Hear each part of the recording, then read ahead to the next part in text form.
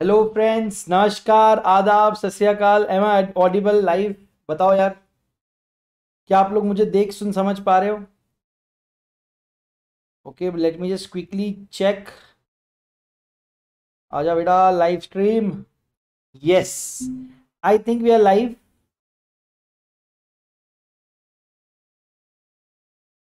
आवाज़ दिख रहा है सबको? आवाज़ भी आ रहा है? ज़बरदस्त। उमंग, ईशा, भावना, सार्थक। क्रिश कैसे हो? यथार्थ। नमन। कैसे हो आप लोग? तबरेज, मेरे भाई, कैसे हो? Abhishek Saroj welcome to the class and there is Abhishek हो गया। विवेक विवेक भाई, कैसे हो? रेगुलर आ रहे हो अभी। हिरल हाय कैसे हो बेटा? Bhavna welcome to the class ज़बरदस्त ज़बरदस्त ज़बरदस्त। सभी लोगों का स्वागत है। दोस्तों मैं आपको एक बात बता दूँ। I am about to tell you little bit things आप थोड़ा ध्यान रखिए। uh, कुछ अमेंडमेंट्स अभी आई थी नवंबर 21 के आरटीपी में।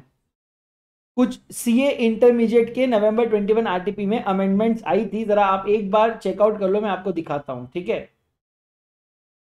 और अभी जो मॉड्यूल हम लोग पढ़ रहे हैं ना हम जो मॉड्यूल अभी पढ़ रहे हैं वो पहले देखा जाए तो थर्टी अप्रैल तक के उसमें अमेंडमेंट्स थे। थर्टी अप्रैल तक के, ठीक है?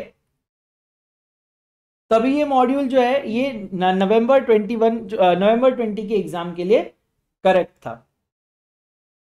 लेकिन उसके बाद, यानी कि आई थिंक एक मिनट अक्टूबर ट्वेंटी में ये मॉड्यूल बना हुआ है प्रिंट किया है। अक्टूबर ट्वेंटी का इसका मॉड्यूल का प्रिंट था।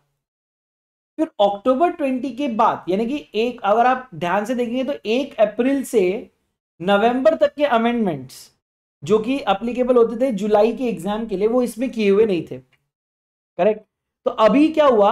एक आरटीपी इशू किया। देखो मैं आपको बताता हूँ।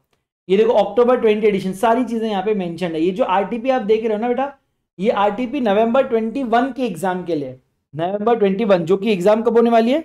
दिसंबर में होने वाली है। तो ये जो अक्टूबर 2020 का ये एडिशन है, इसमें थर्टी मतलब इसमें थर्टी फ़र्स्ट ऑफ़ अक्टूबर 2020 तक के जो अमेंडमेंट्स थे, वो सारे कवर किए गए थे। यानी कि मैं आपको बता दूँ, यहाँ पे। यानी कि अक्टूबर तक के अमेंडमेंट अप्रैल के बाद, जैसे ना मई जून जुलाई अगस्त सितंबर अक्टूबर ये जो छह महीने हैं, ये सारे अमेंडमेंट्स इस मॉड्यूल के अंदर कवर किए गए। ठीक है? लेकिन उसके बाद एग्ज़ाम कब है? नवंबर 21 में। तो इसके बाद भी, इसके बाद भी बहुत सारे अमेंडमेंट बाकी थे। तो फिर आया आरटीपी फिर आया आरटीपी जिसमें एक नवंबर 2020 देखो इसकी जस्ट बात का दे। एक नवंबर 2020 थर्टी फ़र्स्ट अक्टूबर के बाद क्या, एक, क्या था? एक नवंबर तो एक नवंबर 2020 से लेके 30 अप्रैल 2021 तक के अमेंडमेंट दिए गए। ठीक है? मैंने अभी जो मैं नोट्स आपको दिया है फ़र्स्ट चैप्टर का, उसमें एक दो छोटे छोटे अमेंडमेंट्स जो नहीं है, ठीक है? अभी आज के आप जो नोट्स में आपको जिससे मैं पढ़ाऊँगा, उसमें वो अमेंडमेंट है और जो नोट्स एक्चुअली क्लास में मिलने वाली है, उसमें आपको ये सारे अमेंडमेंट साथ में मिलेंगे। ये जो सारे अमेंडमेंट्स में बता रहा हूँ, आपको साथ में मिलेंगे। आपको जो नोट्स एक्चुअली मिलने वाली है, जो मेन क्लास में नोट्स मिलने वाली है, अभी इसके बाद के जो अमेंडमेंट थे कि एक नवंबर 2020 से तो लेके thirty first April sorry thirty eight April thirty eight April twenty one यहाँ तक की अमेंडमेंट आपको इंक्लूड करके मिलने वाली है इस नोट के अंदर। एंड ये कब के लिए एग्ज़ाम ये एप्लीकेबल होता है बेटा? सिक्स मंथ पहले तक के अमेंडमेंट आपको एप्लीकेबल होते हैं तो ये एप्लीकेबल होता है नवंबर ट्वेंटी वन की एग्ज़ाम्स के लिए। करेक्ट यानी कि जो नोट्स मैं आपको देने वाला वो मतलब बाय डिफ़ॉल्ट नवंबर 21 की एग्ज़ाम के लिए अप्लीकेबल है। बट आपका एग्ज़ाम कब है? आपका, आप लोगों का एग्ज़ाम आएगा मई 22 में। यानी कि और छह महीने बाद। करेक्ट इसका मतलब एक मई 2021 से लेके फिर मई, जून, जुलाई, अगस्त, सितंबर, अक्टूबर। ठीक है? फिर से वही। अक्टूबर, अभी अभी देखो हाँ एक मिनट हाँ। हाँ बराबर। अक्टूबर तक आएगा। Thirty first of October twenty twenty one यहाँ तक के जो अमेंडमेंट है, ये आपको आएँगे आरटीपी मे 22 में। ये कहेंगे जो आपके अटेम्प्ट के लिए जब आरटीपी प्रिंट होगा ना, उसके अंदर ये अमेंडमेंट रहेंगे। एक मई 2021 से अक्टूबर 2021 तक के, और वहाँ तक के अमेंडमेंट आपको मई 2022 के एग्ज़ाम में एप्लीकेबल रहेंगे। लेकिन ये अमेंडमेंट्स अभी कब आने वाले आरटीपी जब आएगी, मई 22 की, तब आने वाले अभी अपने पास आने वाले हैं क्या? नहीं। तो हमारी बुक्स यहीं तक रहेगी। मैं जो मॉड्यूल आपको देने वाला हूँ, यहाँ तक रहेगा। लेकिन जो भी आरटीपी के अमेंडमेंट्स आएँगे, जो मई 22 के आरटीपी के अमेंडमेंट्स आएँगे, ये मैं फ्री ऑफ़ कॉस्ट अपलोड करने वाला हूँ इसी यूट्यूब चैनल ये मैं फ्री ऑफ़ कॉस्ट अपलोड करने वाला हूँ इसी यूट्यूब चैनल पे। यानी कि अगर आप टेक्निकली देखेंगे तो जो बच्चे ये क्लास मतलब आगे भी डिसाइड करते उनके लिए। दो दो मिनट लगे, फिर मैं पढ़ाना स्टार्ट कर रहा हूँ। जो बच्चे क्लास अभी ले रहे हैं, अभी आपको समझना चाहिए कि जो नोट्स आपको मिल रही है, ये नवंबर 21 के अटेम्प्ट तक फुल्ली अमेंडेड रहेगी। फुल्ली अमेंडेड रहेगी। लेकिन एक मई 2021 से, एक मई 2021 से thirty eight thirty first October twenty twenty one तक के जो सारे अमेंडमेंट्स रहेंगे ये आपको मे 22 में एप्लीकेबल है ये आरटीपी में आते हैं मे 22 के ये आपको अपने आप से करने पड़ेंगे बट इसके लिए भी आपको यूट्यूब पे वीडियो देकर मैं हेल्प कर दूँगा। और ये मैं अकेला नहीं सारे टीचर्स इसी तरह से करवाते हैं। ठीक है? करेक्ट ओके सो ये अभी मैंने क्लियर कर दिया नोट्स के चलते आपको नोट्स के रिलेटेड कोई डाउट अब आपको नहीं रहेगा। अभी जो अमेंडमेंट एक छोटी मोटी अमेंडमेंट है, मैं आपको बता भी देता हूँ। जो चैप्टर वन है ना चैप्टर वन में एकदम छोटी अमेंडमेंट है, ये आपको करनी है आपके बुक्स में। आपको in the companies act in section two clause 52 यानी कि आइए अपने बुक में सेक्शन टू क्लॉस 52 में। सेक्शन टू क्लॉस 52 में आइए। जल्दी से आइए सेक्शन टू क्लॉस 52 में। यहाँ पर है क्लॉस 52 इसमें लिस्टेड कंपनी ये दिख रहा है आपको? देखो इस तरह से। लिस्टेड कंपनी दिख रहा है आपको? ठीक है? अब इसको थोड़ा सा अमेंड किया है। रुको, मैं आपको बताता हूँ। इसको मैंने थोड़ा अमेंड किया है। ये नवंबर 21 के हिसाब से। वो आप देख लो क्या है। ठीक है? ये देखो लिस्टेड कंपनी बहुत ज़्यादा चेंज हो गया, वो पहले मैं आपको बता देता हूँ। दिख रहा है कि आपको मैं क्या बोल रहा हूँ? आपने जो पढ़ा है और मैं जो पढ़ा रहा हूँ, उसमें डिफरेंस समझ में आया कि आपको? ये आपकी बुक्स में दिख रहा होगा आपको। अब इतना आप लिख नहीं सकते। देखो, आपके बुक्स में आपको अभी ये नज़र आ रहा होगा, जो आपने प्रिंट आउट निकाली है। ये नोट्स बेटा ग्रुप में मिलेंगे ग्रुप का लिंक डिस्क्रिप्शन में दिया है। ये आपको नज़र आ रही है 52 बराबर? आपके बुक में। हेलो आपको ये नज़र आ रहा है। ये अमेंड हो चुका है बेटा। यहाँ पर अमेंडमेंट आ चुका है। और अब ये चेंज होकर ऐसा दिखने लगा है। ये देखो कितना बड़ा हो गया। तो आइए पहले मैं आपको अमेंडमेंट पढ़ाता हूँ और अमेंडेड सॉफ्ट कॉपी में आपको कल, आज रात में या कल अपलोड कर दूँगा। अमेंडेड सॉफ्ट कॉपी में आपके ग्रुप में अपलोड कर दूँगा। ठीक है? तो listed company means a company which has any of it securities listed on any recognise stock exchange पहले सिर्फ़ इतना ही था। बस। Means a company any of securities listed on recognise stock exchange मैंने आपको पढ़ाते वक्त इस पे एफर्ट भी नहीं डाले। मैंने कहा कि ओके लिस्टेड कंपनी है, समझ गया any of the securities listed on stock exchange ये लिस्टेड कंपनी है। बट मैंने आपको एक होमवर्क दिया था। मैंने आपको होमवर्क दिया था कि बताइए क्या एक प्राइवेट लिमिटेड कंपनी लिस्ट हो सकती है। कितने लोगों ने किया ये होमवर्क क्या ना private limited company get listed कितने लोगों ने किया ये? यस बताइए, कितने लोगों ने ये एक्चुअली किया? Can a private limited company get listed आपको यहाँ पर पता चला होगा कि debt securities can be listed by a private company पता चला आपको? That a private company can list its debt securities and that way it can become listed तो ये एक्चुअल में होने लगा। फिर प्रॉब्लम क्या हुआ? प्राइवेट कंपनीज़ भी लिस्टेड होने लगी। इसीलिए लिस्टेड कंपनी के डेफिनेशन में अमेंडमेंट ला लिया। अब ध्यान से पढ़ो अभी अगर आपको समझ गया तो समझ गया। अगर आपको अभी समझ गया तो समझ गया वरना नहीं समझेगा ठीक है?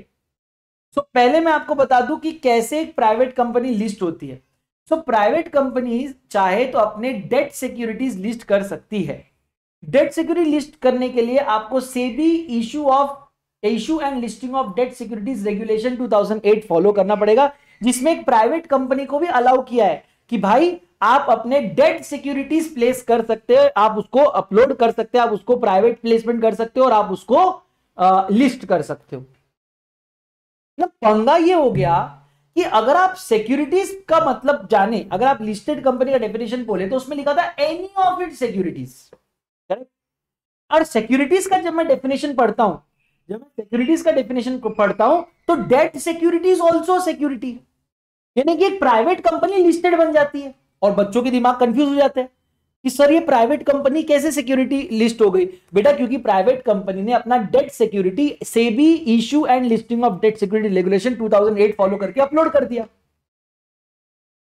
तो पंगा ये होने लगा कि ये प्राइवेट कंपनी ने अपने डेट सिक्योरिटीज को लिस्टेड करवाया उस वजह से प्राइवेट कंपनीज़ को भी अब हम प्राइवेट कंपनीज़ को भी अब हम लिस्टेड कंपनी बोलने लग गए।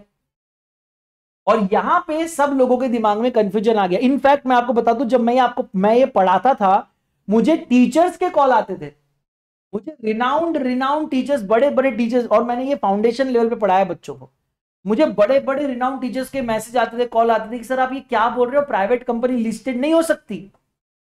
मैंने कहा, सर, ऐसा नहीं है। आप ये लिस्टिंग पढ़िए, आपको समझ में आ जाएगा कैसे लिस्ट होती है। और अब ये ज़्यादा ज़्यादा लोगों को समझ में आने लगा कि क्या प्राइवेट कंपनी का ऑल्सो गेट लिस्टेड। तो ये लिस्टेड कंपनी की डेफिनेशन में थोड़े से चेंजेस किए गए ताकि प्राइवेट कंपनी को हम इसमें से बाहर निकाल सके। ताकि हम प्राइवेट कंपनी को इसमें से बाहर निकाल सके। और ये अमेंडमेंट अभी आपको मैं पढ़ा रहा हूँ। ठीक है? ध्यान से देखो। प्रोवाइडेड दैट इसके आगे एक प्रोविजो ऐड किया गया। ये पूरा न्यू है बेटा, इसके नीचे का जितना भी आप पढ़ोगे, पूरा अमेंडेड है। ये नोट्स आपको मिल जाएगी। Provided that such class of companies which are listed और intend to list such class of securities as may be prescribe in consultation with SEBI securities and exchange board of India shall not be considered as listed company और बोल रहे कि हम particular कुछ class of companies के बारे में बताएँगे, जो अगर अपने कुछ पर्टिकुलर सिक्योरिटीज जो हम आपको बताएँगे, अगर वो लिस्ट करती है, या it gets to intend to list दो सिक्योरिटीज तो भी आप उसको लिस्टेड कंपनी नहीं कहेंगे। ये सेक्शन में ऐड किया गया बेटा, ये लोकसभा, राज्यसभा और president and then official gazette से ये पैरा ऐड हो गया इन द एक्ट फिर इन्होंने स्टार्ट किया रूल्स बनाना। ये पूरे के पूरे रूल्स नए हैं न्यूली इंट्रोड्यूस्ड ये पूरे रूल्स न्यू है। देखो रूल्स क्या बोलते हैं। Company not to be considered as listed company for the purposes of proviso of clause fifty two of section two of the act the following classes of company shall not be considered as listed company सबसे पहला। Public companies which have not listed their equity shares on a recognized stock exchange but have listed their non-convertible debt securities issued on private placement basis. अब आप लोग को confusion हो रहा होगा सबसे पहले तो आपको नहीं समझ रहा कि नॉन कन्वर्टेबल क्या है फिर आपको नहीं समझ रहा है प्राइवेट प्लेसमेंट क्या है प्राइवेट प्लेसमेंट क्या है तो आज एक बात अपने अपने बुक्स में लिख दो remind me to teach this again after this chapter मैं आपको बता दूँ। नहीं तो बाद में क्योंकि आप कंफ्यूज होंगे, इसलिए मैं आपको अभी बता रहा हूँ। रुको। Remind me to teach this again after prospectus and allotment of securities इसके बाद चैप्टर नंबर थ्री के वक्त आप मुझे याद दिलाना कि सर ये आप डबल पर आने वाले थे। अब देखो मैं आपको समझाने की कोशिश करता हूँ व्हाट इज़ दिस क्या बोलते उसको? प्राइवेट प्लेसमेंट अगर एक कंपनी जनरल पब्लिक को शेयर्स इश्यू कर रही तो इसको पब्लिक इश्यू कहते हैं, बराबर? इसको पब्लिक इश्यू ऑफ़ सिक्योरिटीज कहते हैं। Anyone from the general public can buy the shares but अगर ये कंपनी कुछ सिलेक्ट फ्यू लोगों को सिलेक्ट फ्यू पीपल को अगर शेयर इशू कर रही है तो इसको प्राइवेट प्लेसमेंट कहते हैं। ये मैं आपको पढ़ाने वाला हूँ चैप्टर नंबर थ्री में। और जब मैं चैप्टर नंबर थ्री में ये पढ़ाऊँगा, तब मुझे एक बार याद दिलाना कि मैं दोबारा आपको पूरा एक्सप्लेन करूँ।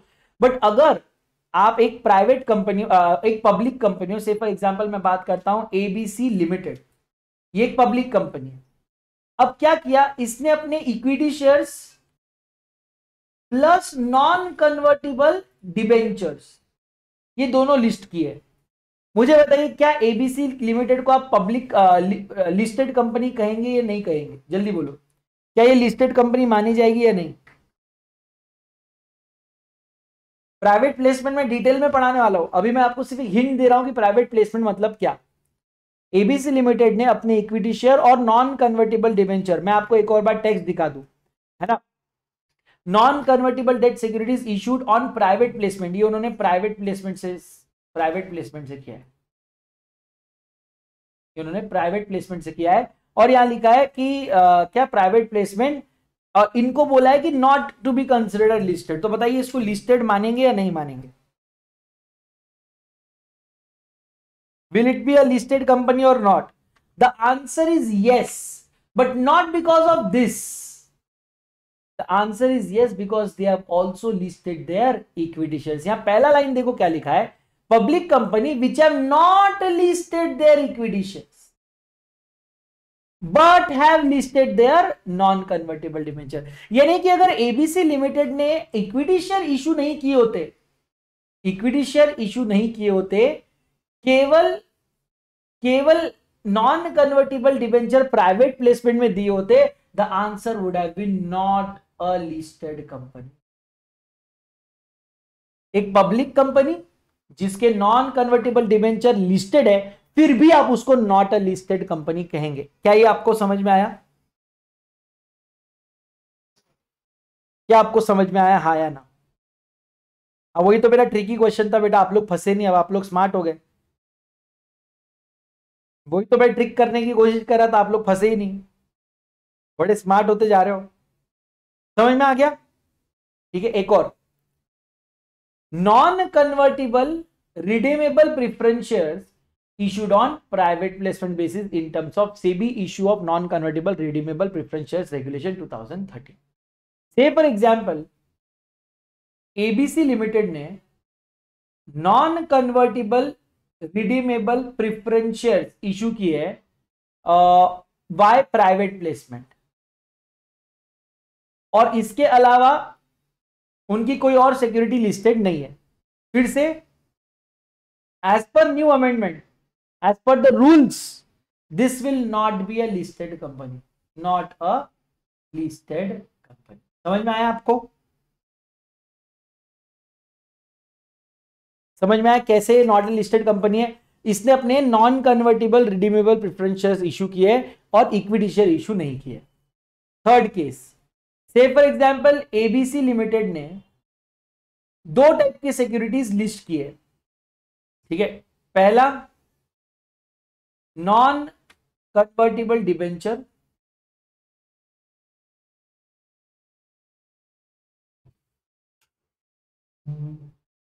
और दूसरा non convertible preference share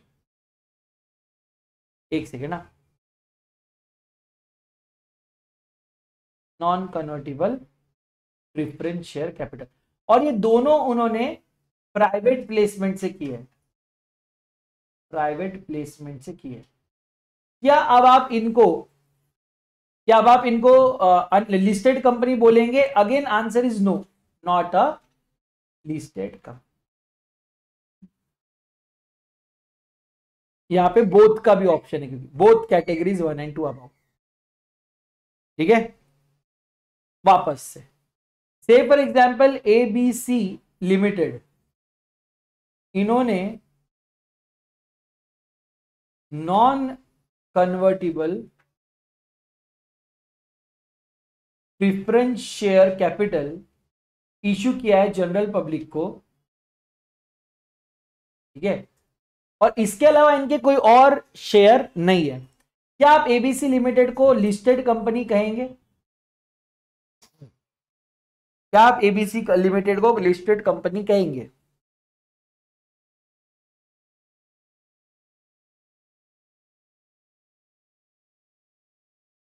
explain करता हूँ बेटा, मैं सारे सिचुएशन कवर करूँगा, आपको समझ में आ जाएगा। रुको। पहले आप आंसर दो। ईशा, मैं सब समझाऊँगा डोंट वरी क्या आप ये लिस्टेड हो गई? सर, ये लिस्टेड कंपनी हो गई। सर, ये लिस्टेड कंपनी हो गई। कैसे लिस्टेड कंपनी हो गई? बिकॉज़ सर इसने प्राइवेट प्लेसमेंट से नहीं जनरल पब्लिक को दिया है। प्राइवेट प्लेसमेंट से नहीं है जनरल पब्लिक को दिया है। अच्छा ठीक है। फिर लेते हैं एबीसी प्राइवेट एबीसी लिमिटेड ठीक है? इसने अपने शेयर इशू किए हैं। उसके अलावा नॉन कन्वर्टिबल डिबेंचर है। उसके अलावा नॉन कन्वर्टिबल प्रिफरेंस शेयर है। ये दोनों पब्लिक को मिले हैं। जनरल पब्लिक प्राइवेट प्लेसमेंट से नहीं किया है। तो इट्स अ लिस्टेड कंपनी ठीक है? तो मैं बेसिकली काम करता हूँ। मैं काम करता हूँ, ठीक है? मैं एक चार्ट बनाने की कोशिश करता हूँ। दो मिनट दो मैं चार्ट बनाने की कोशिश कर रहा हूँ। कंपनी ठीक है? इक्विटी शेयर्स ठीक है? फिर नॉन कन्वर्टिबल डिवेंचर्स फिर non convertible preference share capital ठीक है? और स्टेटस uh, अब एक एक करके हम थोड़ा सा इसको भरते हैं। सबसे पहले पब्लिक कंपनी ठीक है? इक्विटी शेयर इक्विटी शेयर्स है नन इक्विटी शेयर्स है नन ठीक है? नॉन कन्वर्टिबल डिमेंचर्स है और ये एक मिनट ये प्राइवेट प्लेसमेंट्स है। प्राइवेट और ये जनरल अच्छा एक काम करते हैं, पहले इसको भी प्राइवेट प्लेसमेंट ये भी प्राइवेट प्लेसमेंट बताओ what will be the status अभी सारे क्लियर हो जाएँगे अपने। Will this be called as a listed company और एन अनलिस्टेड कंपनी चलो। इक्विटी शेयर इशू नहीं किया है। नॉन कन्वर्टेबल डिवेंचर इशू किया है और non convertible preference share issue किया है।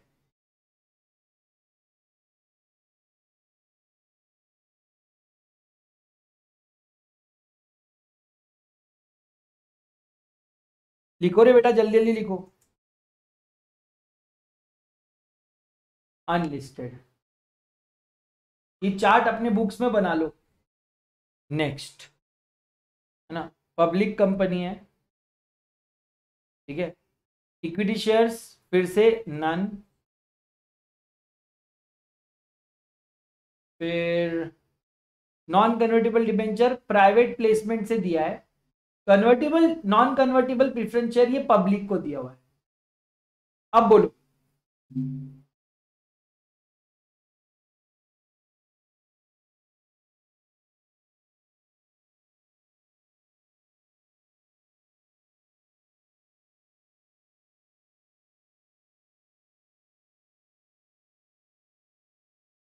Very good.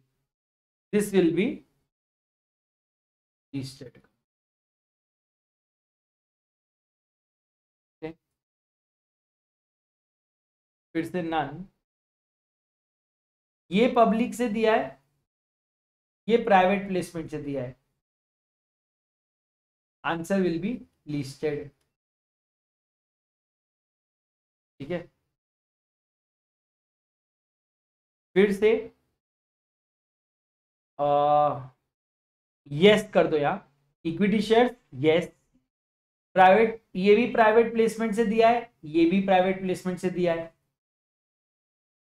Still it will be listed ठीक है? इसको यस कर दो, ये पब्लिक कर दो, ये प्राइवेट प्लेसमेंट कर दो आंसर विल बी लिस्टेड है ना? इसको यस कर दो, इसको पब्लिक इसको भी पब्लिक कर दो और इसको भी पब्लिक कर दो। Till the answer is of course listed अब आपको देखो समझ में आने लगेगा धीरे धीरे। चलो शेयर्स को कर दो नो शेयर्स को कर दो नो ठीक है? और इसको भी कर दो नहीं आई थिंक ये नो वाला कवर हो गया है। प्राइवेट प्लेसमेंट पब्लिक है ना? आप चाहिए तो इसको देख लो। इन दोनों में से कोई भी एक पब्लिक होगा, हो जाए। ये आई थिंक ये अभी कवर हो गया। इसमें कॉम्प्रिहेंसिवली सारे कवर हो जाते हैं पब्लिक कंपनी के। एक बार देख लो ये चार्ट इसमें पब्लिक कंपनी के सब कुछ कवर हो जाते हैं। देख लो एक बार। पब्लिक कंपनी पूरा कवर हो जाता है इसमें।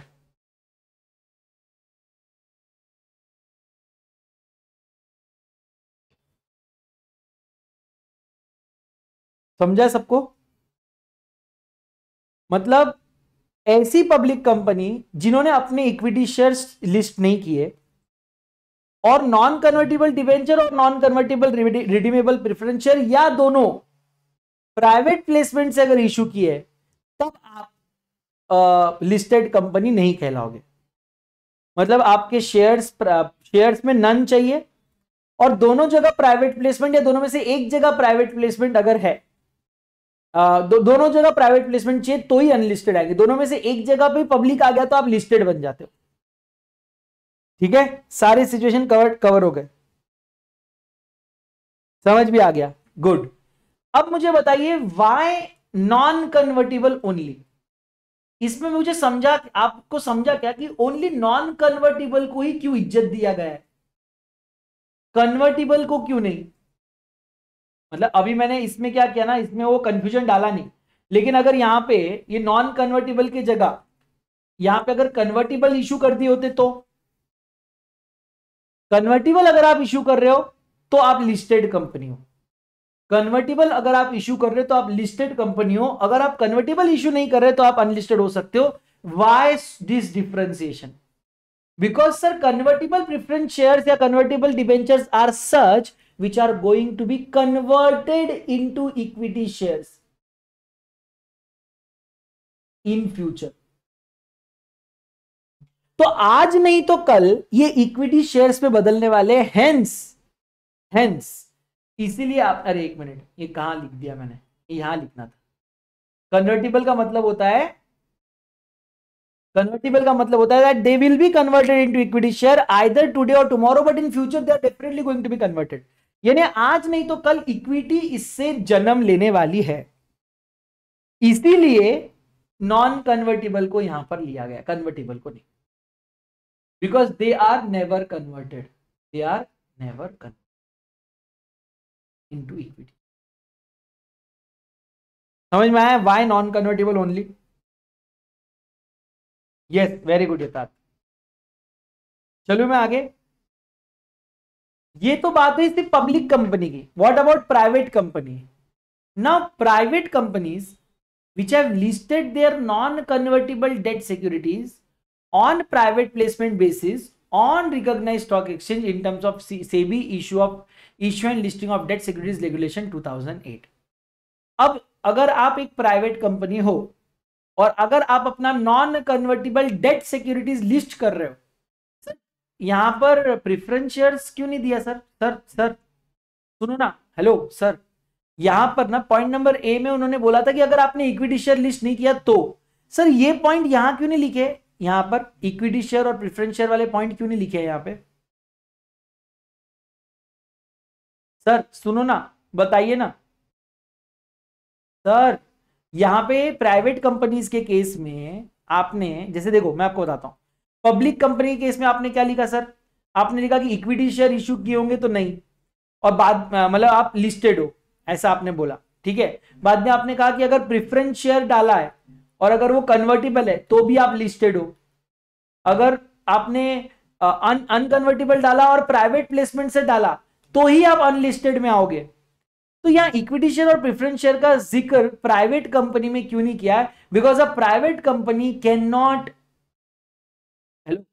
a private company can not ask for money मतलब they can not get their you know they are prohibited from inviting money from the public आपने अगर section two clause sixty eight को ध्यान से पढ़ा है तो उसके अंदर लिखा था private company they are prohibited they are prohibited from inviting public to invest in to their securities you can't you can't ask others to invest in to your company by buying your shares आप अपने debt securities ले सकते हो because debt securities is like loan loan लेने देने में आपको तकलीफ़ नहीं है, लेकिन अगर आप कंपनी प्राइवेट कंपनी हो तो आपको शेयर्स आप लिस्ट नहीं करवा सकते। इसलिए यहाँ पे शेयर्स वर्ड आया ही नहीं है, ना इक्विटी ना प्रीफरेंस यहाँ पे केवल क्या देखेंगे आप? आप देखेंगे कि क्या प्राइवेट कंपनी अपने डेट सिक्योरिटीज को लिस्ट करवा रही है। तो ये अमेंडमेंट आने से पहले, यानी कि एक अप्रैल 2021 से पहले सिचुएशन ये थी, ये अमेंडमेंट आने से पहले अ प्राइवेट कंपनी जिसके डेट सिक्योरिटीज लिस्टेड थे, आप उसको लिस्टेड कंपनी कहते थे। मैं खुद उसको लिस्टेड कंपनी कहता था, मैंने आप लोगों को फाउंडेशन में भी ये ट्रिकी क्वेश्चन पूछा, है। अब मैं ये क्वेश्चन नहीं पूछ सकता, मुझे इतना दुख हो रहा है कि यार मैं इतना सरप्राइजिंग क्वेश्चन पूछ सकता था, जितना शॉकिंग था यार। अब मैं नहीं पूछ पाऊँगा।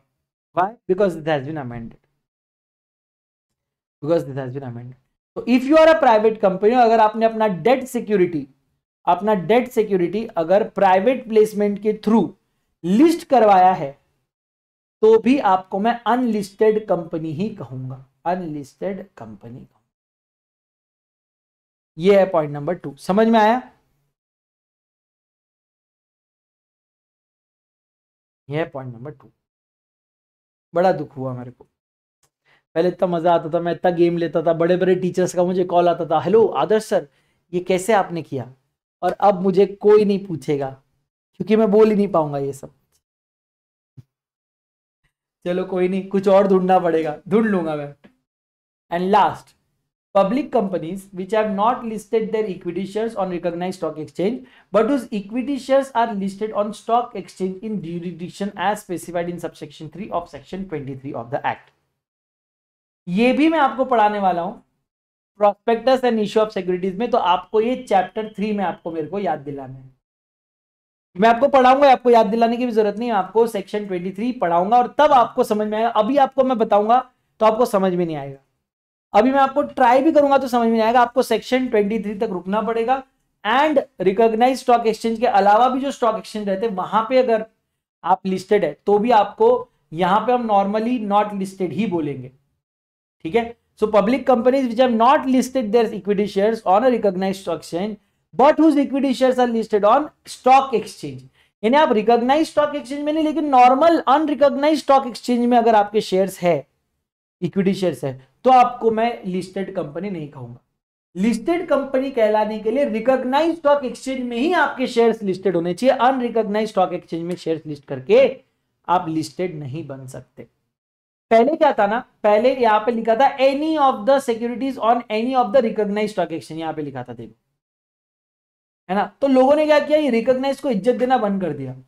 और बहुत अलग अलग स्टॉक एक्सचेंज में अपनी इक्विटी शेयर लिस्ट करने लग गए। Just to to be called as listed company इसलिए ये पॉइंट आया कि अगर आप पब्लिक कंपनी हो और you have not listed your equity shares on any recognise stock exchange but your equity shares are listed on stock exchange in a jurisdiction as specified in 23 subsection 3 then still you will not be called as you will still not be called as listed company अभी भी आप unlisted ही कहलाओगे ये मैं जब आपको वहाँ पे आऊँगा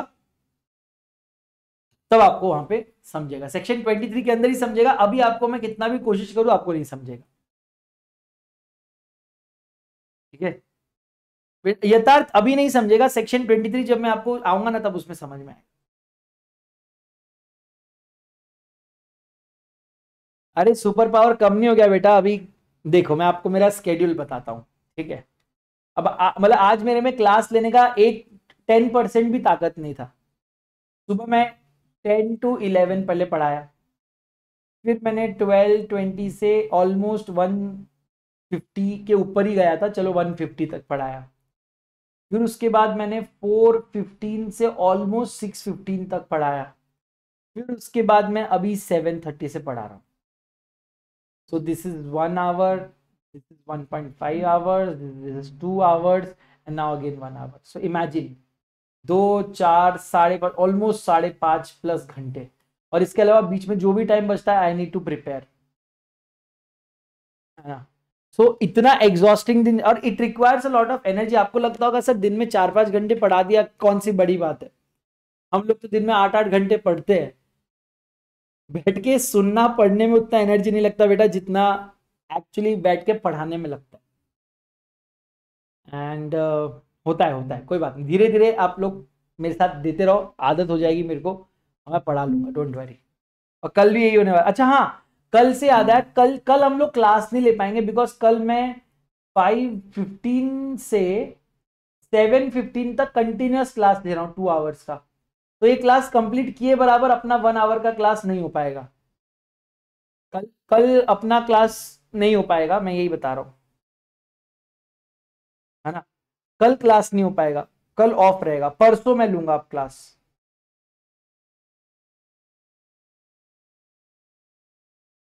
अच्छा। ऐसा था क्या विवेक भाई? ओ अब समझा मैं। Sorry my bad my bad my bad Abhishek Saroj, कैसे हो भाई? कल का देख ला कल का छुट्टी है हाँ। अरे यार सो स्वीट ऑफ़ यू था अरे मैं गलत समझ लिया, मेरे को लगा उसने बोला लॉमैन का पावर कंप्लीट हो गया, खत्म हो गया। ऐसा बुरा लगा, अरे लॉमैन का पावर किधर है? ऐसा खुद को बूस्ट करूँगा मैं, है ना? चलो। ये एक अमेंडमेंट आया हाँ फिर कहा है? अरे अमेंडमेंट किधर गया? चलो, ये एक अमेंडमेंट आया, बस।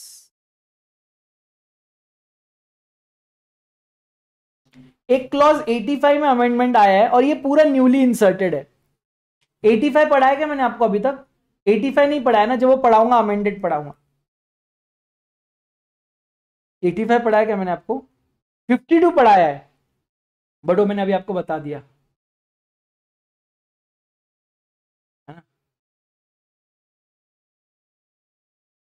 ठीक है, ये मैंने आपको पढ़ा दिया। देखो, आपके अमेंडमेंट देख लो हाँ बेटा। ये देखो, ये पहला अमेंडमेंट था। ठीक है? Provided that such class of companies listed with ये जो है ना, पूरा का पूरा, ये प्रोविज़न मैंने आपको पढ़ा दिया। ठीक है? ये अभी जस्ट पढ़ाया। ये सेकेंड अमेंडमेंट है, ये मैं आपको अभी तक क्लॉज 85 पढ़ाया ही नहीं है। जब मैं क्लॉज 85 पढ़ाऊँगा, तब मैं आपको ये पूरा अमेंडेड पढ़ा दूँगा स्मॉल कंपनी का। ये बहुत अच्छा क्लास रहेगा। फिर आते हैं हाँ और ये मैंने पूरा रूल आपको पढ़ा दिया। ये जो अमेंडेड रूल है मैंने अभी आपको पूरा पढ़ा दिया कि कौन सी कंपनीज़ लिस्टेड होते हैं भी आप उसको लिस्टेड नहीं कहोगे। ठीक है? ये मैंने अभी आपको पढ़ा दिया। तो चैप्टर नंबर वन के सारे अमेंडमेंट्स कवर हो गए। मैं अमेंडेड नोट्स आपको शेयर कर दूँगा। ये मैंने पढ़ा दिया। चैप्टर टू के अमेंडमेंट जब हम चैप्टर टू पढ़ेंगे, तब आपको अमेंडेड ही मैं पढ़ाने वाला हूँ। डन अमेंडमेंट हो गया बेटा अपने। अमेंडमेंट का टेंशन सॉल्व अब चलते हैं करंट हमारी क्लास पे। हम कहाँ पे कहाँ पे रुके थे बेटा? ये हो गया था ना पोस्टल बैलेट हो गया था हमारा। अरे, फिर क्या था? पब्लिक कंपनी हो गया था रजिस्ट्रार हो गया था रिलेटेड पार्टी ये रिलेटेड पार्टी किया था क्या अपन ने? रिलेटेड पार्टी हमारा बाकी था ना? हेलो गाइस रिलेटेड पार्टी बाकी था ना? रिलेटेड पार्टी बाकी है हमारा, अब रिलेटेड पार्टी पकड़, पढ़ेंगे हम ठीक है? What do mean by related party इसके पहले रजिस्ट्रार तक हमने पढ़ा था। मैंने आपको रजिस्ट्रार के बारे में कल बहुत इंफॉर्मेशन दी थी। अब मैं आज आपको रिलेटेड पार्टी कौन होते हैं? सर ये जो रिलेटेड पार्टी और रिलेटिव्स है ना, अभी आप लोग को मैं बता दूँ, ये इतना नाक में दम करते हैं भाई। अरे ये ऐसे, मैं बता रहा हूँ, ये हमारे घरों में, हमारे शादियों में फ़ंक्शंस में हमारे पढ़ाई को लेकर, हमारे एज को लेकर, हमारे वेट को लेकर, हमारे कलर को लेकर, हमारे एजुकेशन को लेकर, हमारे दसवीं के मार्क्स ग्यारहवीं के मार्क्स बारहवीं। अरे ज़िंदगी में किसी चीज़ से ये लोग सेटिस्फाइड नहीं रहते। हर चीज़ में आके इनको अपनी स्पेशल टिप्पणी देनी रहती। और ये नाक में दम करके रखते हैं रिलेटेड पार्टी इतना ही नहीं, यहाँ पे रुकते नहीं ये लोग, बहुत डेंजर है। अब ये लोग आकर कंपनीज़ एक्ट में इनकम टैक्स एक्ट में जीएसटी अरे हर एक्ट में आ, आके ये लोग हमको परेशान करते और सर, मैं कैसे जीव कैसे करूँ? तो बेटा, ये रिलेटेड पार्टी आप लोगों को कंपनीज़ एक्ट में भी आकर परेशान करने वाले आइए, देखते हैं कि रिलेटेड पार्टी के लिए कौन कौन आता है कंपनी के लिए रिलेटेड पार्टी मतलब who all are related party for a company ठीक है? चलो। बहुत परेशान करते हैं, सर।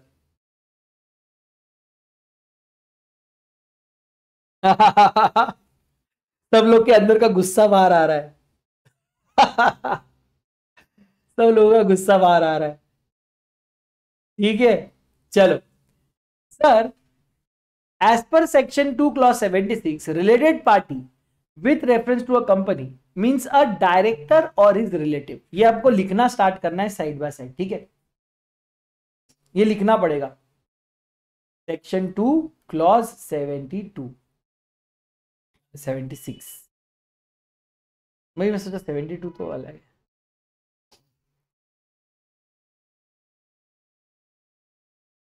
रिलेटेड पार्टी ठीक है?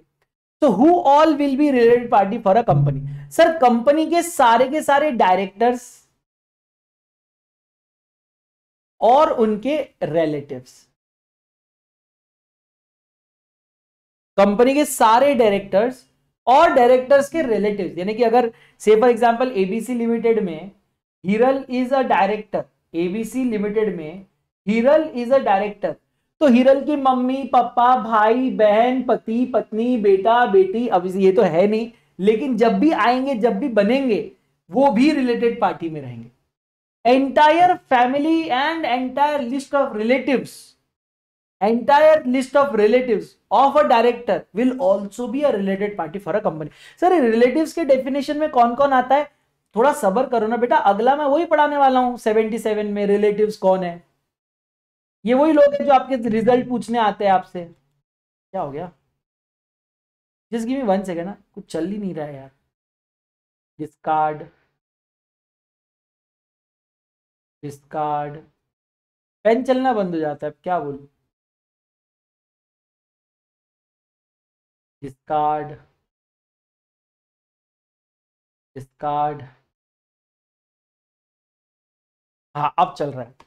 सो रिलेटिव ये मैं आपको पढ़ाने वाला हूँ। तो घाई मत करो, मैं बताऊँगा सब रिलेटिव ठीक है? सो डायरेक्टर और हिज रिलेटिव्स ठीक है? फिर की मैनेजरल पर्सनल और रिलेटिव की मैनेजरल पर्सनल और रिलेटिव्स की मैनेजरल पर्सनल में कौन आता है? जल्दी जल्दी बोलो, जल्दी जल्दी बोलो, जल्दी मैं नहीं कुछ सुन रहा। नहीं नहीं अब भी क्या बिना चीटिंग करे फटाफट बोलो। बिना चीटिंग करे इधर उधर बिना देखे, जल्दी से बताओ की मैनेजरल पर्सनल में कौन कौन आता है?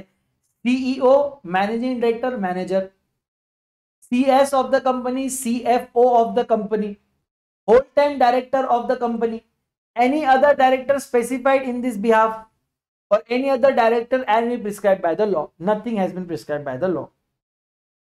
ये सारे होते हैं केएमपी और इनके रिलेटिव्स ये लोग भी आपकी कंपनी के लिए रिलेटेड पार्टी बन जाते हैं. फिर आते हैं third firm sir firm partnership firm हाँ अब ध्यान से सुनो। Firm in which a director manager or his relative is a partner firm in which a director or manager or his relative are partners sir नहीं समझा। मैं समझाता हूँ। Say for example ABC limited Hiral is a director of ABC limited Hiral is a director of ABC limited तो हिरल बन गई related party Hiral के relatives बन गए related party correct Hiral is also a CEO of the company तो फिर से being a KMP she again became a related party इस कंपनी में क्रिश भी है. Krish is the CFO of the company he also became a because is a KMP he also became a related party Krish के पापा क्योंकि पापा relative है क्रिश के पापा ऑल्सो बिकेम रिलेटेड पार्टी ठीक है? अब क्या हुआ? क्रिश के पापा का एक पार्टनरशिप फॉर्म है। ध्यान से सुनो। क्रिश के पापा का पार्टनरशिप यानी हमारे सीएफओ के पिताजी का एक पार्टनरशिप फर्म है। उनके पार्टनरशिप फर्म के पार्टनर है मिस्टर एक्स अब ध्यान से सुनो एक केस। ध्यान से सुनो एक केस। क्रिश हमारे कंपनी का सीएफओ है मतलब केएमपी है। तो क्रिश तो रिलेटेड पार्टी है। क्रिश के पापा केएमपी के रिलेटिव है तो वो भी रिलेटेड पार्टी है। क्रिश के पापा का एक पार्टनरशिप फर्म है, उस पार्टनरशिप फर्म में मिस्टर एक्स उनके पार्टनर है। ठीक है? मुझे बताइए, ये पार्टनरशिप फर्म और मिस्टर एक्स, क्या ये लोग भी रिलेटेड पार्टी में आएँगे या नहीं आएँगे? सोच समझ के बताना।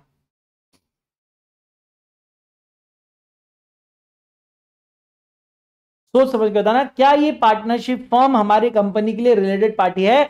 Answer is yes a firm in which a director manager or relative is a partner ठीक है? सो so, मैंने यहाँ पे अज्यूम किया है कि Krish is also a director of the company अगर आप बोलोगे नहीं sir Krish is not a director of the company then ये partnership firm will not be a related party सुनो मेरी बात। अगर आप बोलोगे कि sir Krish is nor neither the director nor the manager of the of the company फिर in this case the partnership firm is not a related party समझ में आ रहा है क्या? यहाँ पे डायरेक्टर मैनेजर लिखा है। के लिखा है क्या यहाँ पे? के लिखा है क्या?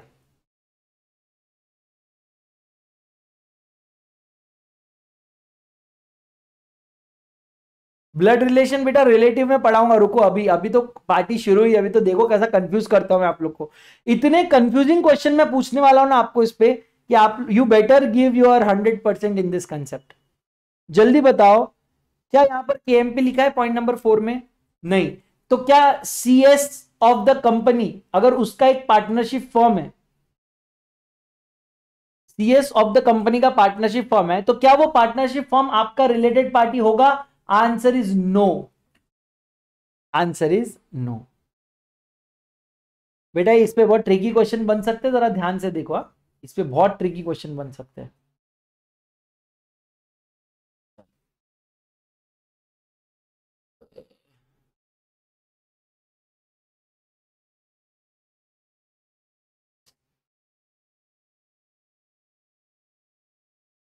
ठीक है। पेन आता था पेन ही चला गया पता नहीं कहाँ। पेन आता था पहले यहाँ इसमें शायद।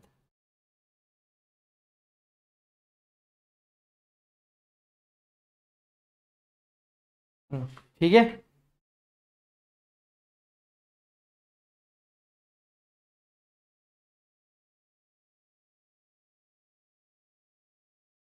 चल।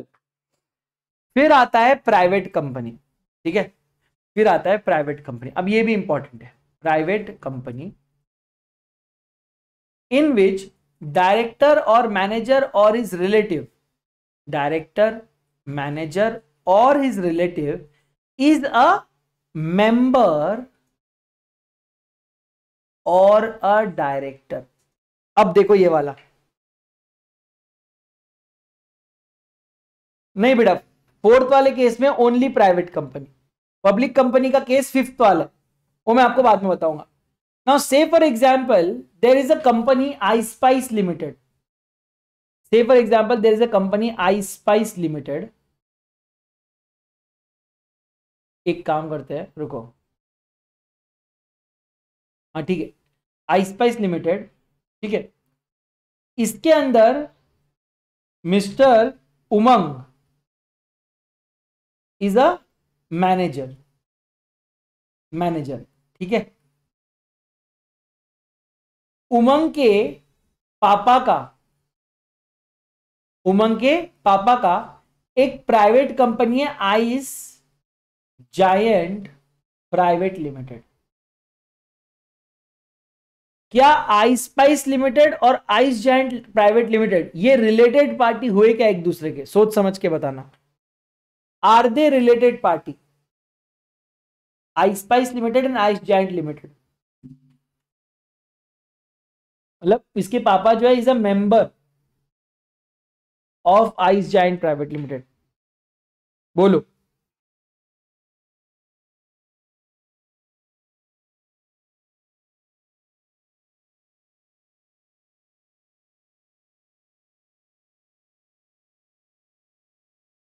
जल्दी बताओ। सोच के बताओ। A private company private company in which a director manager or relative director manager or relative is a member or director यानी एक ऐसी प्राइवेट कंपनी है आइस जैन प्राइवेट लिमिटेड जिसमें आपके कंपनी यानी कि आईस्पाइस लिमिटेड के मैनेजर के रिलेटिव मैनेजर के रिलेटिव अगर मेंबर है तो वो related party hence there is a related party relationship between the companies कितने लोगों को ये पॉइंट समझा जरा बताना?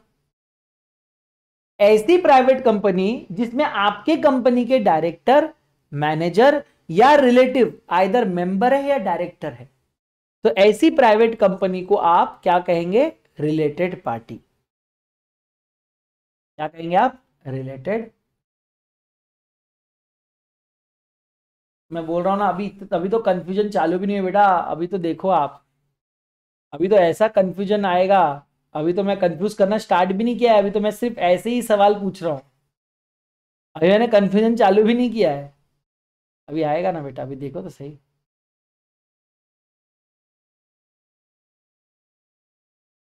एक सेकेंड ना।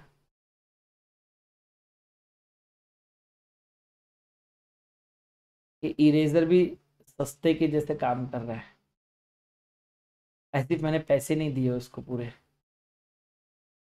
चलो। कैसा है ना, अभी आप लोग का रिज़ल्ट लगने का है।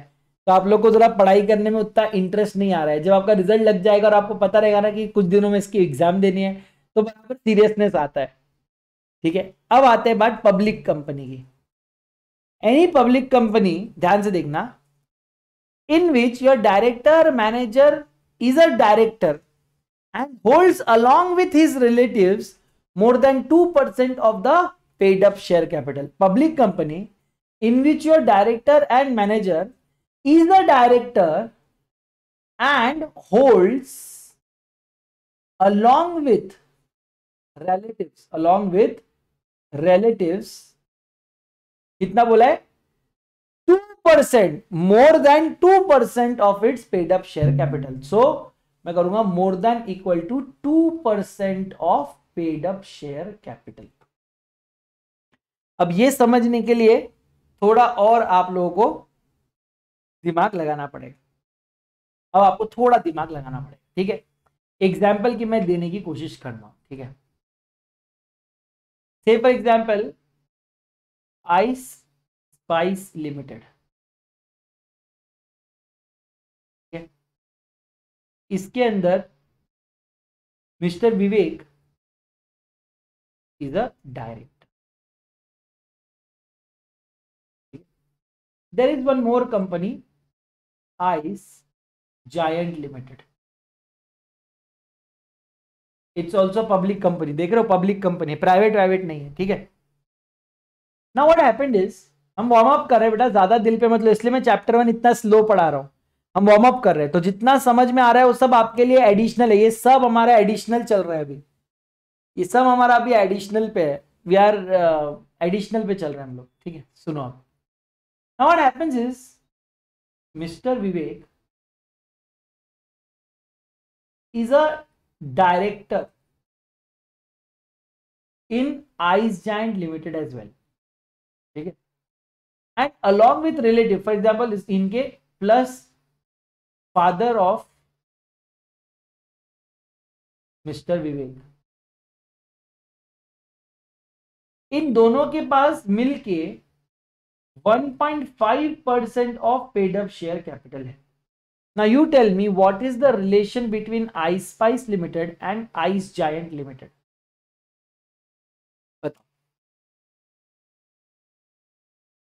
What will be the relation between Ice Spice limited and Ice Giant limited बेटा, ये सारी बातें आपको पता चलेगी। डोंट वरी अब आप सीए इंटर में आ गए हो। सारी बातें मैं डिटेल में आपको पढ़ाने वाला हूँ। है ना? और डायरेक्टर्स के रिलेटेड जो आप सवाल पूछ रहे हो, आपको सीए फाइनल में क्लियर होगा। Maximum number of directorships allowed उसके अंदर। ठीक है? अलग अलग रहेगा उसके लिए भी। वेरी गुड सर अगर यहाँ पे 1.5 की जगह अगर 3.5 होता तो? अगर 1.5 की जगह 3.5 होता तो क्या आपका आंसर चेंज होता? क्या पे आपका आंसर चेंज होता?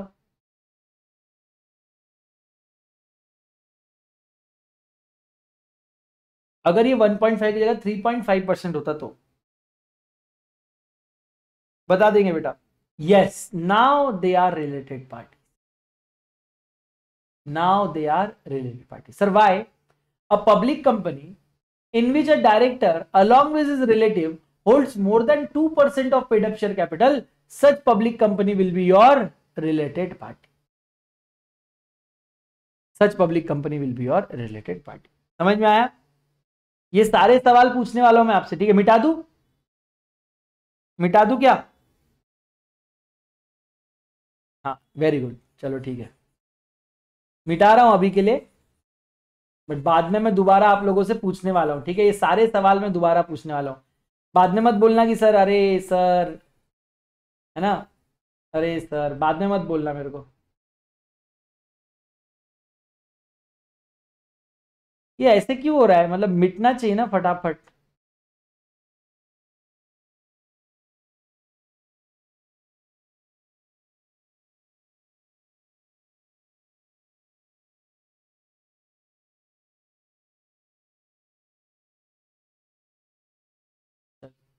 ये मिटता नहीं है यार जल्दी, इसका भी कुछ अल्टरनेटिव सोचना पड़ेगा।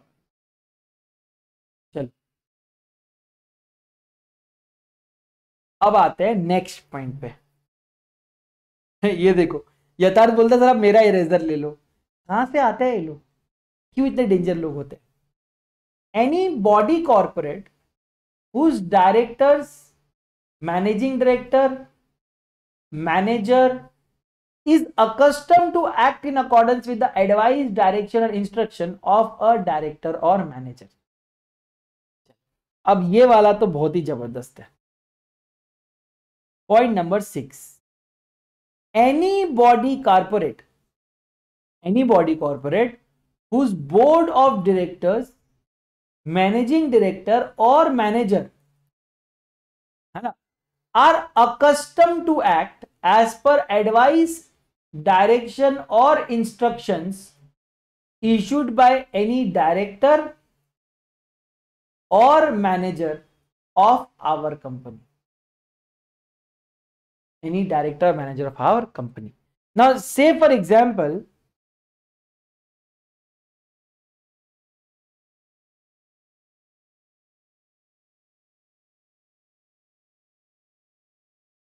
कैसे कैसे कैसे एक मिनट बताना बेटा क्या करूँ इसको मैं?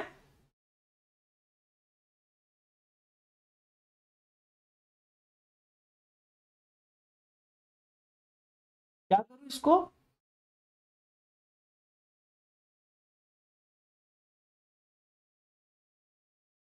तो बोल रहा है वो।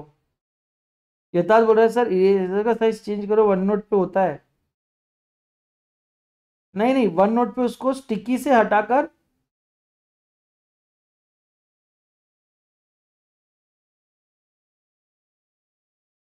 हाँ ये तो मैंने करा ना बेटा, सबसे अच्छा स्टोक इरेजर होता है।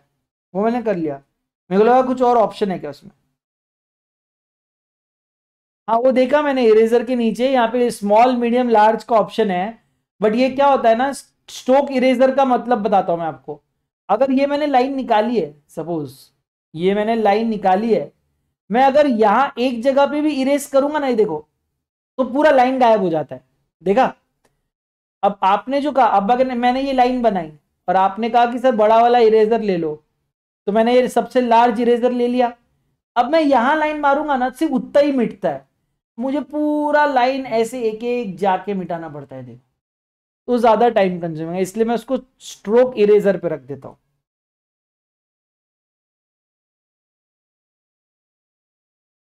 इरेजर के नीचे देखा ना बेटा, ये क्या? Choose eraser small medium large और क्या है इसमें? उसके नीचे क्या है अब?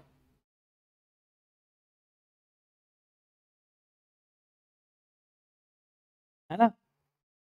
चलो। अब अब मैं आ रहा हूँ आगे। अब ये वाला जरा खतरनाक है एक्सप्लेन करने के लिए। एक बार जरा सुनो। ना what happens is there is a company ये हमारा कंपनी है आई स्पाइस लिमिटेड ठीक है? हमारी कंपनी में होशियार डायरेक्टर, एकदम टैलेंटेड डायरेक्टर है। उन्हीं होशियार डायरेक्टर में से एक है ईशा। बहुत ही ज़्यादा टैलेंटेड डायरेक्टर डायरेक्टर है। ईशा का ट्वेंटी इयर्स का एक्सपीरियंस है कंपनी चलाने का। ईशा बोलेगी, सर, मेरी उम्र ही बीस साल की है, अब क्या बात कर रहे हो? ईशा के पास ट्वेंटी इयर्स का एक्सपीरियंस है कंपनी चलाने का। ईशा की एक फ्रेंड है, भावना। उसका कंपनी चलाने का एक्सपीरियंस ज़ीरो है। तो नेचुरल सी बात है कि भावना अपने सारे डिसीजंस ईशा से पूछ के लेती है। तो ईशा के कहने पे Bhavna open the company by the name of Ice Chill Two Limited है ना? एक स्मॉल कंपनी बट इस कंपनी के सारे डिसीज़न ईशा के एडवाइस डायरेक्शन और इंस्ट्रक्शन से होता है। ईशा ने कहा ये करने का तो भावना वही करेगी अपने कंपनी में। ना what is the relation between Ice Chill Two Limited and I Spice Limited so the loss is that they became related party they become related party because it is the company जिसके director managing director या manager is accustom to act as per advice direction और instruction given by our director और manager Given by our director or manager. इसीलिए, in this case both the companies are related parties ना इसी को उल्टा करके देख लो। अभी आप आइस स्पाइस लिमिटेड के लिए देख रहे थे, अब आप आइस चिल्टू लिमिटेड के लिए देखो। आप आइस चिल्टू लिमिटेड के लिए देखो you you your company is Ice Chill Two Limited Ice Chill Two Limited इस कंपनी की डायरेक्टर है भावना। भावना एकदम नई है मार्केट में, उसको कंपनी चलाने का एक्सपीरियंस नहीं है। तो भावना अपने सारे डिसीज़न ईशा से पूछकर लेती है। ईशा कौन है? Isha is a director Isha is a director of I Spice Limited now what is the relation between Ice Chill Two Limited and I Spice Limited again the answer will be related party related sir क्यों? कैसे? उसके लिए है point number seven any person on whose advice direction और instruction a director और manager is accustom to act यानी किसी और इंसान के बोलने पे अगर हमारे कंपनी के डायरेक्टर नाचते होंगे तो हमारी कंपनी और उस कंपनी में रिलेटेड पार्टी का रिलेशन है। यानी they are complementary to one another point number six and point number seven are complementary to one another समझ में आया? पॉइंट नंबर सिक्स और पॉइंट नंबर सेवन समझ में आया? कैसे they are complementary to one another got it तो ये दोनों पॉइंट मैं लिख देता हूँ।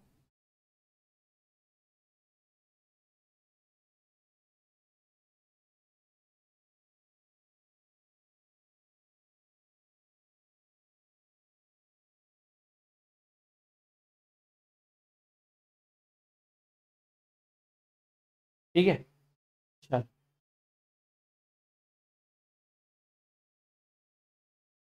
इस इरेजर का एक चीज़ समझ में आ गया। अगर आप स्लोली करोगे तो ये ज़्यादा मिटाता है। और अगर आप फास्ट करोगे तो भूल जाता है कि मुझे क्या क्या मिटाना था। समझेगा तुम? अगर आप स्लो करेंगे तो इसको सब याद रहता है कि मुझे क्या करना है। लेकिन अगर आपने फास्ट कर दिया तो उसको भूल जाता है कि मुझे किसको किसको उड़ाना था। ऐसा है। चलो पॉइंट नंबर सिक्स मैंने लिख दिया था पॉइंट नंबर सेवन में लिख देता हूँ, जो कॉम्प्लीमेंट्री पॉइंट है। क्या पॉइंट है? Any person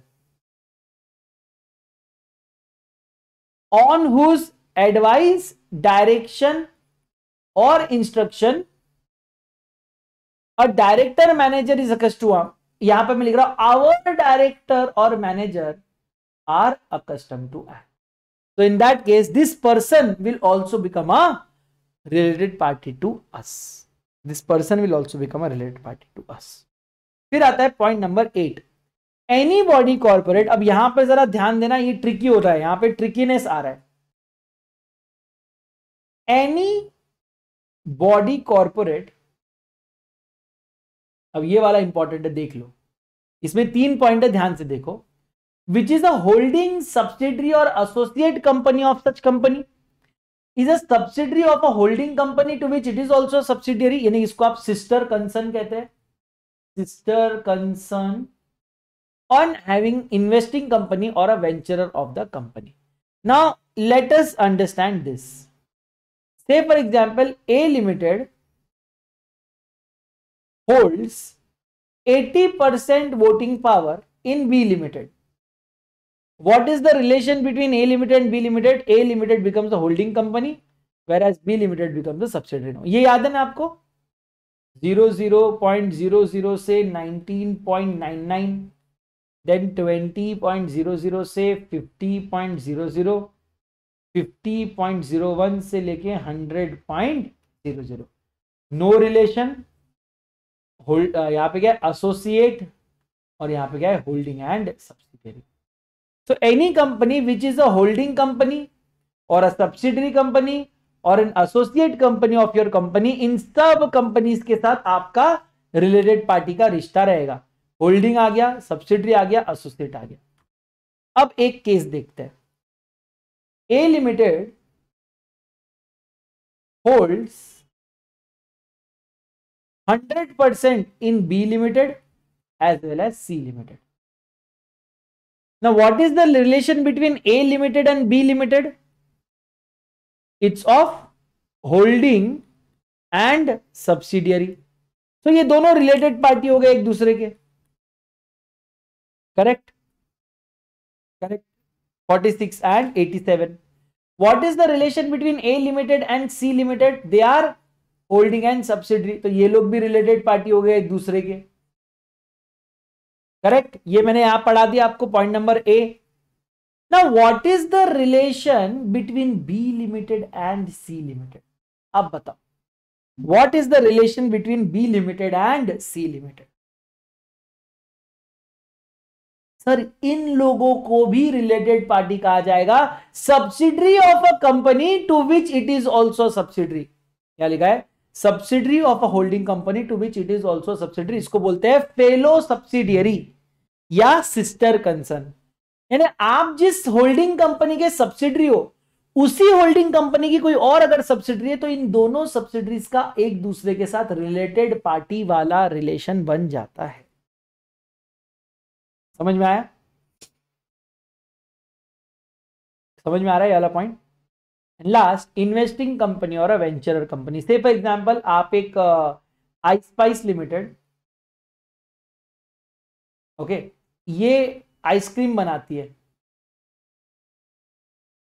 यहाँ पर आपको पैसों की ज़रूरत पड़ी तो आपने क्या किया? आपने सॉफ्ट बैंक से सीड मनी लिया, जिसको बोलते हैं venture fund in this case SoftBank और आपके बीच में भी रिलेटेड पार्टी का रिलेशन बन जाएगा बिकॉज़ उन्होंने आपको पेमेंट किया है, पैसा दिया आप में इन्वेस्ट किया है। इसको बोलते हैं वेंचरिंग कंपनी या इन्वेस्टमेंट कंपनी तो for the purpose of this clause the investing company और the venture company means the body corporate whose investment in the company would result in the company being associate company of the body corporate यानी minimum ये ये जो seed fund है minimum twenty percent होना चाहिए। In clause 8 shall not apply with respect to section 188 to a private company ये एक private company को ये दिया है कि आपके अंदर ये वाला पॉइंट अप्लाई नहीं होगा। This will not apply to exempt ये कौन एग्जाम्ट है? प्राइवेट कंपनी प्राइवेट कंपनी को ये सारे रूल्स अप्लाई नहीं होते। उनको बेनिफिट दिया जा रहा है कि आप जाओ आप दूसरे कंपनी की होल्डिंग सब्सिडरी एसोसिएट कंपनी बनो, या आप फेलो सब्सिडरी बन जाओ, या आप इन्वेस्टिंग कंपनी बन जाओ, कोई दिक्कत नहीं है। कोई दिक्कत नहीं है, आपको ये अप्लाई नहीं होगा। इनफैक्ट आईएफएससी पब्लिक कंपनी को भी ये अप्लाई नहीं होता, ये देखो। आईएफएससी पब्लिक कंपनी को भी ये रूल अप्लाई नहीं होता।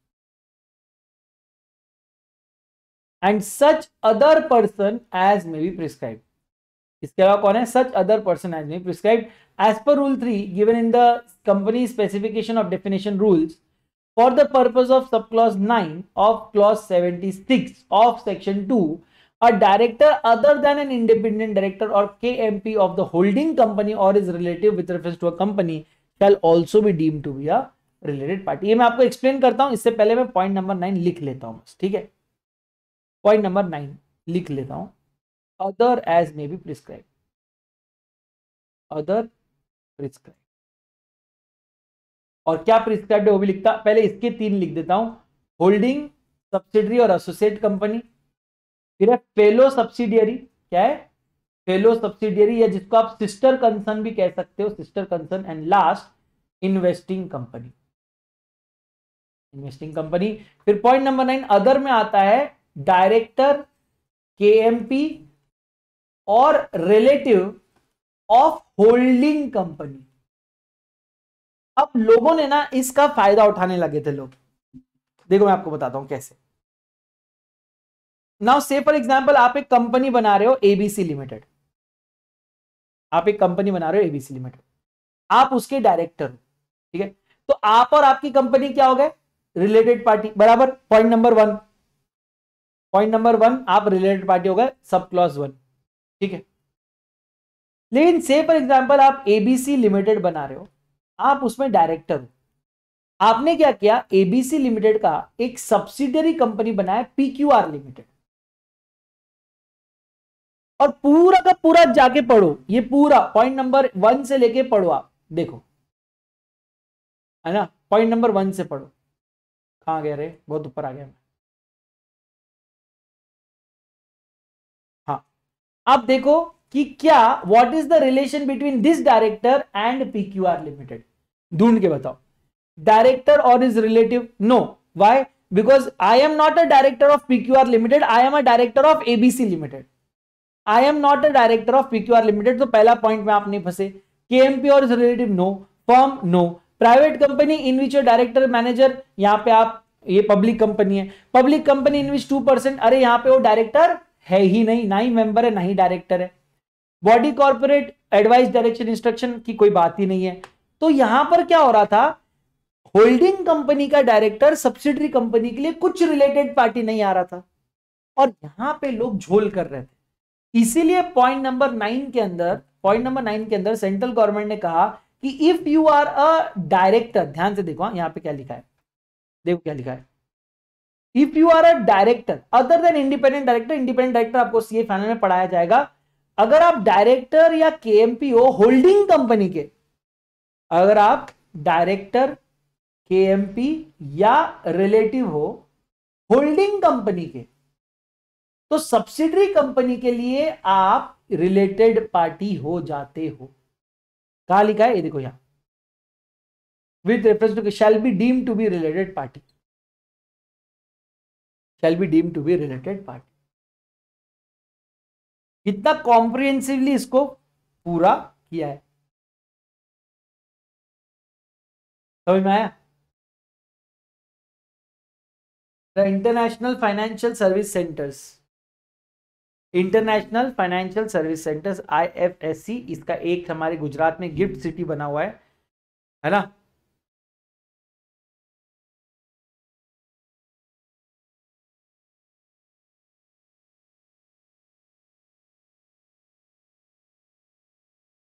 तो ये है हमारे नौ पॉइंट अब मैं क्या करता हूँ? आप लोगों को होमवर्क देता हूँ। ये पूरे नाइन पॉइंट्स आपको पढ़ने हैं और कल मैं इसके ऊपर ट्रिकी क्वेश्चंस पूछूँगा और मैं देखूँगा आप लोग उसको सॉरी कल तो हमारा क्लास नहीं है। डे आफ्टर टुमारो मैं इस पर ट्रिकी क्वेश्चन पूछूँगा और देखूँगा कि आप उसको जवाब दे सकते हो या नहीं। लास्ट दो केसेस आप पढ़ लेना, बहुत सिंपल सिंपल केसेस है। आप इसको एक बार पढ़ लो। मैं आपको पढ़ के बताता हूँ। X Y Z Private Limited two subsidiary companies Y Private Limited and Z Private Limited here as per 276 8b Y private limited and Z private limited are related parties. However, as per notification number so and so, clause 8 shall not apply with respect to private company. Therefore, Y private limited and Z private limited are not related parties for the purpose of section 188. Q because they are private company. मैंने आपको बताया private company पे entire section apply नहीं होता। Section two clause apply ही नहीं होता ये वाला। ये जो पूरा पूरा क्लॉज 76 है, ये अप्लाई नहीं होता प्राइवेट कंपनी में। ठीक है? So however if Y Private Limited and Z Private Limited have common directors then they will be deemed to be related parties as per 276 4 because ये 276 8 जो आप देख रहे हो ना 8 ये वाला। ये प्राइवेट कंपनी पे भी अप्लाई नहीं होता और एक आईएफएससी पब्लिक कंपनी पे भी अप्लाई नहीं होता। ये दोनों कंपनीज़ एग्जाम्प्ट है। इसलिए इस क्वेश्चन में आप आइडियली होने चाहिए थे रिलेटेड पार्टी बट नहीं हुए। Why because of the exception ठीक है? Then now suppose XYZ Limited is a public company and it has two subsidiary companies, Y Private Limited and Z Private Limited. The section 2 clause 71 a private company which is a subsidiary of a public company will be deemed to be the public company. So Y Private Limited and Z Private Limited will not be eligible to avail exemption under section uh, this upper notification. Therefore यहाँ पे B related parties in addition X Y Z will also be related party to Y Limited and Z Limited आप लोगों को करना क्या है आप लोग कल इसको एक बार गो थ्रू करो इसको आप एक बार गो थ्रू करो और फिर अगर नहीं समझ में आता तो डे आफ्टर टुमारो आप मुझे बोलना मैं आपको दोबारा ही एक्सप्लेन कर दूँगा। आपका आज का होमवर्क ये है इसको वापस आपको दो तीन बार गो थ्रू करना है और आपको थोड़े से एग्जाम्पल्स के साथ इसको प्रैक्टिस करना है। फिर परसों में डायरेक्टली आपको इसकी आ, आईएफएससी का फुल फॉर्म ही बताया international financial service centers international financial service centers इसके फिर क्वेश्चंस हम लोग करेंगे परसों ठीक है? तो आज के लिए बस इतना ही बेटा। अगर आप लोगों को क्लासेस पसंद आ रही है तो प्लीज़ लाइक करना मत भूलिए कमेंट करना मत भूलिए शेयर करना मत भूलिए। आई नो कि बहुत ज़्यादा पेशेंस लगता है इन क्लासेस को पढ़ने के लिए, लेकिन मुझे पता है कि आप लोगों में पेशेंस बहुत सारा है। तो इसी तरह पढ़ते रहिए और हर दिन क्लास में आते रहिए। कल there will be no class tomorrow तो कल आपको रिवाइज करने का टाइम मिलेगा। अब हम मिलेंगे डायरेक्टली ट्वेंटी एथ को सेवन थर्टी पी ठीक है? तब तक के लिए, tata bye bye God bless you lots of love take care